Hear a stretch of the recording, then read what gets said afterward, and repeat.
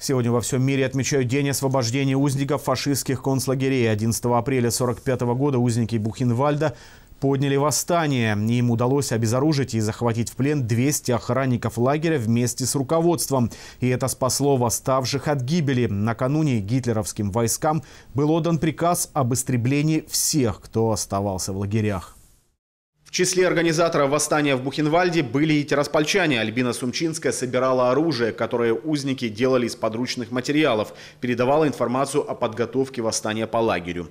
Альбина Сумчинская после войны жила в Тирасполе. Сейчас в Тирасполе осталось в живых 15 человек, прошедших через концлагеря.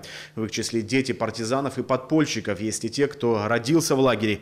С каждым годом их становится все меньше, но те, кто жив, регулярно собираются в памятную дату и проводят встречи со школьниками и студентами. Завтра в городской библиотеке Тирасполя узники концлагерей проведут встречу с лицеистами.